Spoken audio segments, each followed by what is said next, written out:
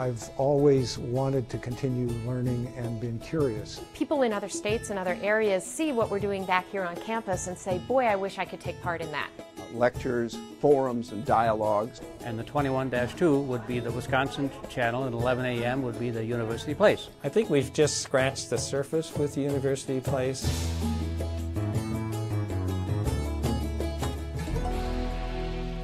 In the early years of television, viewers were faced with a bewildering number of choices. In furniture, but TV set manufacturers were not limited the way TV stations were. With only one channel per station, programs had to appeal to a broad audience. And so early on, television stations simply had no time for specialized content. How unfortunate it was that so few people were able to the lectures at the time. Now, digital broadcasting allows TV stations to deliver multiple channels. This is called multicasting.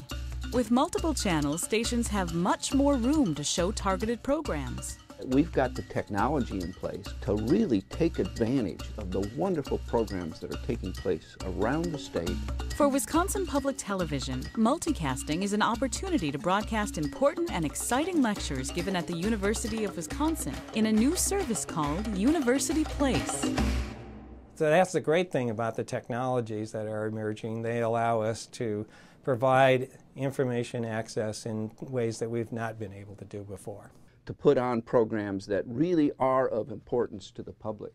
The potential to be able to touch the number of people we can touch through University Place can't be equaled in the old way that we were doing programming. Obviously, if the boundaries of the university are the boundaries of the state, then every one of us has an obligation to reach out into the state and to connect with our stakeholders, our citizens. I wanted to have continuing access to the kind of exciting ideas that exist and are developed at a university.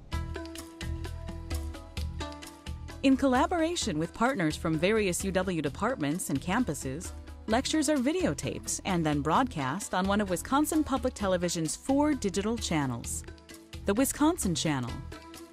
In fact, my wife and I for a couple years now, I've given substantial personal donations to encourage specifically the recording of lectures on campus and finding ways to get them out for others to see. I have a 42-inch digital television at home because I find that they're fascinating to me. The lectures are also streamed on the Wisconsin Channel's website. You have the potential of tapping into wonderful things that are happening at various campuses in the UW. University Place lectures range from health to history, science to art. To how children learn language, to stem cells, to hurricanes.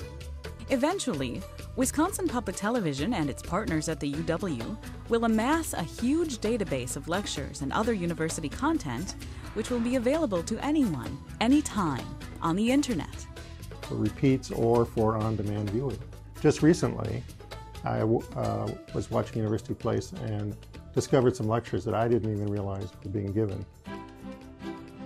We have held the commitment to the Wisconsin idea.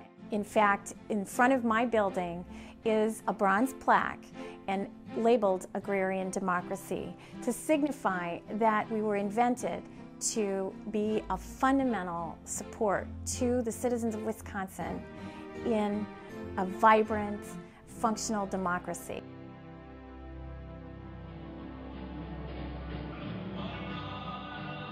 Years ago, the art of television may have been all wrapped up in furniture.